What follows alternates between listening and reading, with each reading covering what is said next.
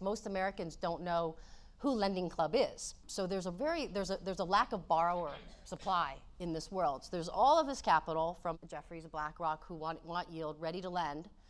All these great platforms who've got technology to do it, but their their their marketing costs are so high. So there's not enough borrowers. So what we're seeing, unfortunately, are some more lax sort of credit, pro, you know, um, uh, risk taking. Um, in other words, so if you're a, a cool startup that just raised a bunch of money to lend money online and because you have great algorithms, but guess what? You don't have enough borrowers coming to your website.